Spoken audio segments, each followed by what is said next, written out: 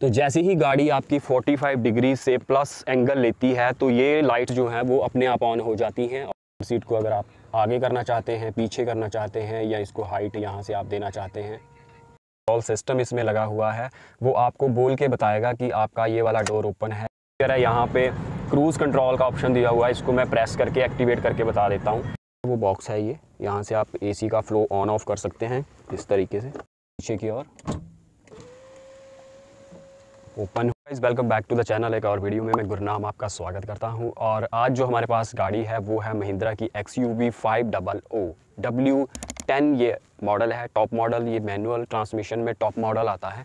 सो so, आज हम जानेंगे चल के इसके टॉप फीचर्स और इसका मैं पूरा वॉक राउंड इंटीरियर एक्सटीरियर की डिटेल आपको शेयर करने वाला हूँ। सो चलिए वीडियो स्टार्ट करते हैं और अगर आप मेरे चैनल पर नए हैं तो चैनल को सब्सक्राइब कर लीजिए एंड बेल आइकन को प्रेस ज़रूर करें ताकि मेरे आने वाली वीडियो की नोटिफिकेशन आपको मिलती रहे। और इसके साथ हम इसका ड्राइवेबिलिटी एक्सपीरियंस और उसके साथ हम माइलेज का टेस्ट भी हम आज करने वाले हैं। सो इस वीडियो में आप बने रहिए।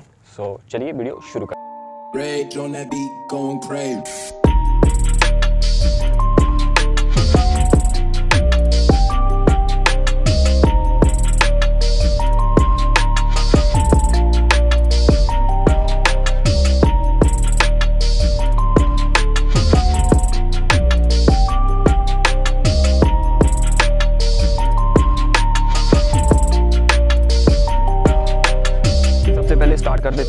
इसका फ्रंट जैसा कि आपको पता है कि चीता इंस्पायर इसका फ्रंट ग्रिल है। उसके बाद प्रोजेक्टर हेडलैम्प का सेटअप आपको इसमें मिलेगा। और 17 इंचेस के इसमें लॉय व्हील आप यहाँ पे देख सकते हैं। एंड ऑटोमेटेड ओआरबीएम और फ्रंट में आपको जो है वो ऑटोमेटिक रेन सेंसर जो है वो वाइपर मिलेंगे। उसके बाद डोर हैंडल कुछ इस तरीके के हैं और रिक्वेस्ट सेंसर जो है वो दोनों साइड ही आपको ड्राइवर साइड और को ड्राइवर साइड दोनों साइड ही आपको रिक्वेस्ट सेंसर जो है वो मिल जाएँगे। प्रोफ़ाइल की अगर मैं बात करूँ तो ऊपर आपको वॉशर जो बैक विंडशील्ड वॉशर है, वो मिल जाएँगे। बैक में आपको वाइपर भी मिलेगा और सनरूफ के साथ साथ रूफ रेल्स भी आपको इस मॉडल में मिलेंगी। महिंद्रा की बैजिंग नीचे बम्पर की अगर मैं बात करूँ तो नीचे क्लैडिंग दी हुई है। क्लैडिंग के साथ बम्पर में जो है बैक पार्किंग सेंसर आपको मिल, मिलेंगे और नीचे एग्जास्ट है, वो डबल रखा गया है और डबल वो जो है, वो दोनों ही जो है एक्टिवेटेड हैं। एक और काफ़ी अच्छा फीचर है, जब आप कहीं टर्न पे गाड़ी को टर्न करते हैं या हिल एरिया में अगर आप ड्राइव कर रहे हो तो गाड़ी में स्टेटिक लाइट का ऑप्शन दिया हुआ है। तो स्टेटिक लाइट यहाँ पे आप ये देख सकते हैं। तो जैसे ही गाड़ी आपकी 45 डिग्री से प्लस एंगल लेती है तो ये लाइट्स जो हैं वो अपने आप ऑन हो जाती हैं और जो एक डार्क स्पेस या ब्लाइंड स्पॉट बनता है, उसको ये ख़त्म कर देती हैं। तो आपकी जो जर्नी है, उसको सेफ़ बना देती हैं और आपको सेफ़ कर देती हैं ये। तो यहाँ पे आप ये देख सकते हैं, ये वाली लाइट्स हैं जो 45 डिग्री से प्लस अगर आपकी गाड़ी टर्न लेती है तो ऑटोमेटिकली ये टर्न टर्न पे ऑन हो जाएँगी। चारों व्हील हैं, उनमें डिस्क प्लेट्स जो हैं, वो ब्रेकिंग सिस्टम लगा है A B S A B D option इस गाड़ी में लगा हुआ है। ग्राउंड क्लियरेंस की अगर हम बात करें तो 200 हंड्रेड mm का ग्राउंड क्लियरेंस इसमें आपको मिलेगा। सीट्स अभी जो है, हमने फोल्ड की हुई हैं अपने बूट स्पेस को इंक्रीज़ करने के लिए और 60 40 रेशो में भी आप जो है सेंटर वाली सीट्स को भी फोल्ड कर सकते हैं और पीछे आपको एक 12 बोल्ट का सॉकेट मिल जाता है, जिससे आप अपने फ़ोन को चार्जिंग पे लगा सकते हैं और यहाँ पे फ्यूल लिड ओपनर के लिए यहाँ पे ऑप्शन दिया हुआ है। इसकी एक्सटीरियर की डिटेल और अब चलते हैं गाड़ी के अंदर। सबसे पहले की मैं आपको बता दूँ तो की कुछ इस तरीके की दिखती है। यहाँ पे लॉक अनलॉक और ये बूट को ओपन करने का भी आपको की से ही ऑप्शन मिल जाता है। कीस को होल्ड करके प्रेस होल्ड करके आप बूट को ओपन कर सकते हैं। तो चलिए गाड़ी के अंदर चलते हैं। सबसे पहले रिक्वेस्ट सेंसर जैसा कि मैंने आपको बताया कि बोथ साइड ड्राइवर और को ड्राइवर साइड दोनों में ही आपको रिक्वेस्ट सेंसर का ऑप्शन मिलता है। तो कीज़ जो है, वो आपकी पॉकेट में होनी चाहिए, आपके साथ होनी चाहिए कीज़ आप इस बटन को प्रेस करेंगे और गाड़ी के अंदर एंटर कर सकते हैं। उसके बाद door panel bottle holder windows control so सबसे पहले हम बात करेंगे सीट कंफर्ट की। सो so, सीट को यहाँ से इलेक्ट्रिकली आप एडजस्ट कर सकते हो। यहाँ से आप देख सकते हैं आगे की ओर फोल्ड हो रही है बैक की ओर। और अगर सीट को अगर आप आगे करना चाहते हैं पीछे करना चाहते हैं या इसको हाइट यहाँ से आप देना चाहते हैं तो इलेक्ट्रिकली आप इसको एडजस्ट कर सकते हो।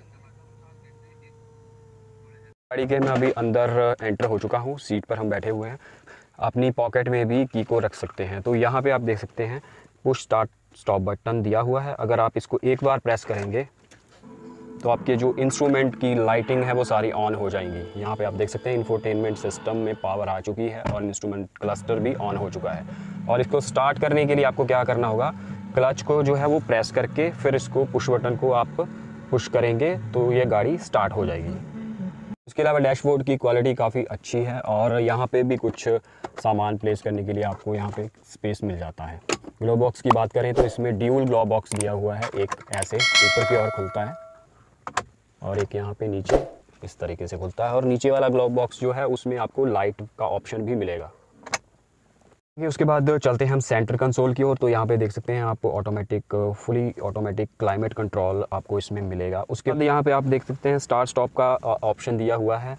इसका यूज़ यही होता है कि बाई चांस आप कहीं ट्रैफ़िक सिग्नल पर रुके हैं और काफ़ी लंबे समय के लिए ये आपको रुकना पड़ रहा है तो आप इसको एक्टिवेट कर देंगे। जैसे आप इसको एक्टिवेट करेंगे और क्लच को प्रेस करेंगे तो गाड़ी आपकी जो है वो सिग्नल पर बंद हो जाएगी।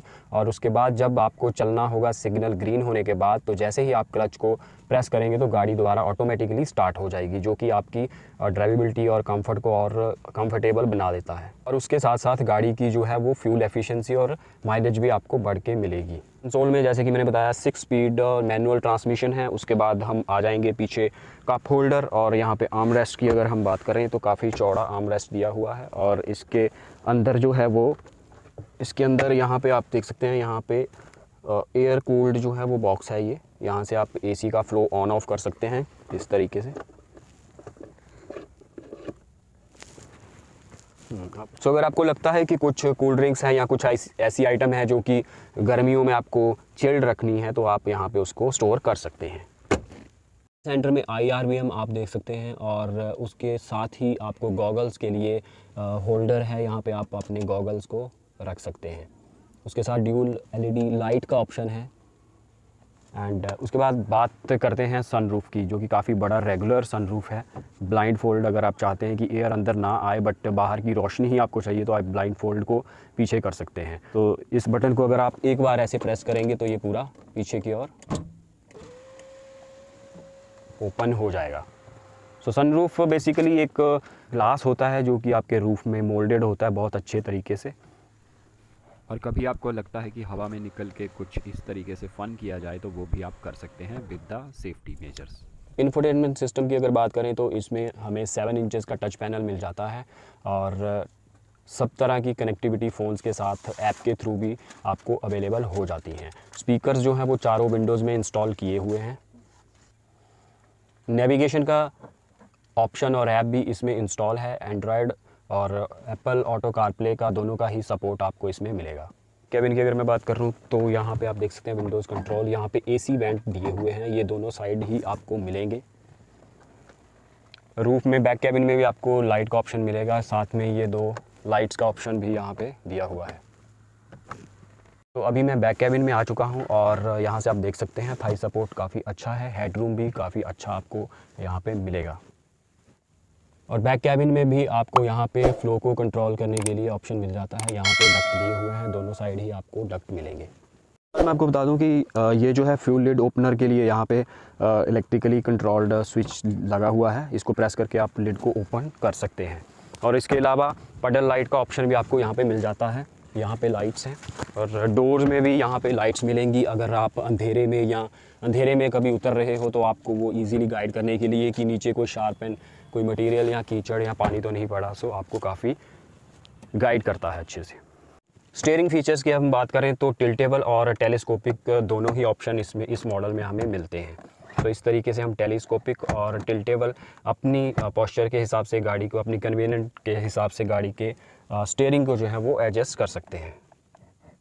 सो इसके अलावा सेफ्टी का इसमें एक और कमाल का फ़ीचर है जब भी आप सेफ्टी बेल्ट नहीं पहनते हो या फिर आपका कोई डोर ओपन रह जाता है तो इसका जो एक वॉइस असिस्ट कंट्रोल सिस्टम इसमें लगा हुआ है वो आपको बोल के बताएगा कि आपका ये वाला डोर ओपन है या फिर आपने सीट बेल्ट नहीं पहन ली।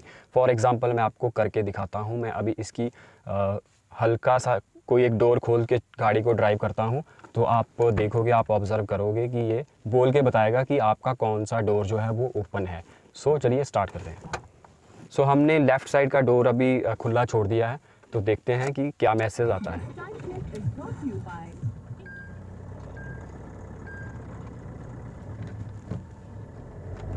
तो जैसे हमने गाड़ी of the doors is open. Please Yeah. check. हाँ तो कोई एक डोर जो है वो ओपन है। doors is open. तो इस तरीके से ये बताएगा।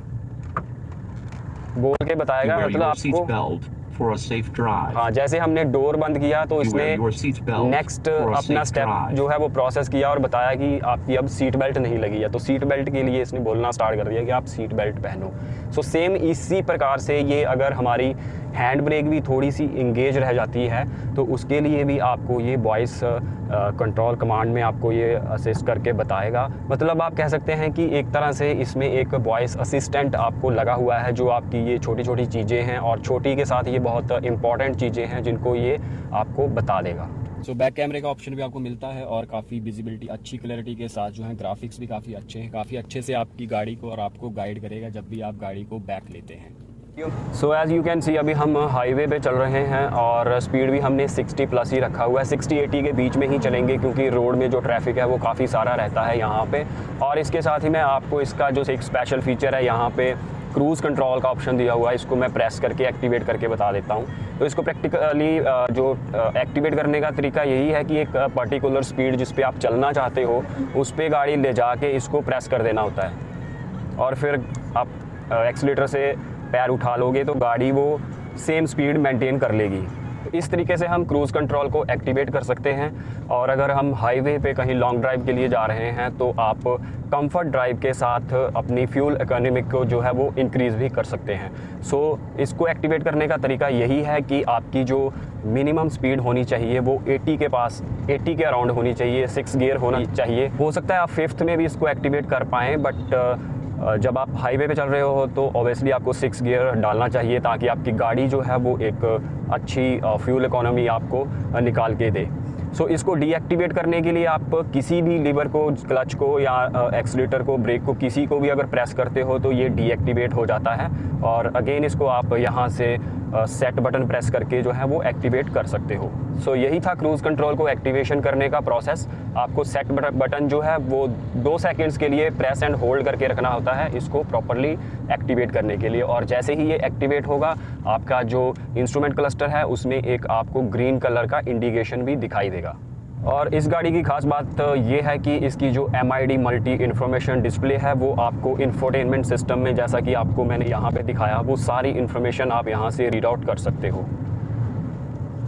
सो चलिए अभी इसकी ड्राइवेबिलिटी की बात कर लेते हैं। तो गाड़ी की सीट में बैठकर आपको फील होगा कि मैं किसी एक बहुत ही सेफ़ गाड़ी में बैठा हुआ हूँ, क्योंकि इस गाड़ी में जो सेफ्टी है, वो बहुत प्राइम रखी गई है। इसमें सिक्स एयर बैग्स ऑप्शन आपको मिलेगा। ये डब्ल्यू टेन मॉडल है जो अभी मैं ड्राइव कर रहा हूँ। सो इसमें टोटल छः एयर बैग जो कि इस गाड़ी को काफ़ी सेफ़ बना देते हैं। और उसके अलावा अगर आपकी हाइट फाइव टेन और इससे प्लस है तो आपको गाड़ी की विजिबिलिटी भी काफ़ी अच्छी रहेगी, काफ़ी बड़ी विंडशील्ड है इसमें और गाड़ी का बोनट भी आपको दिखेगा। और इससे कम अगर आप हाइट के हो तो इसमें आपको जो है इलेक्ट्रिकल एडजस्टेबल सीट दी हुई है, जिसको आप अपनी जो सिटिंग पॉस्चर है, उसको आप सेट कर सकते हो।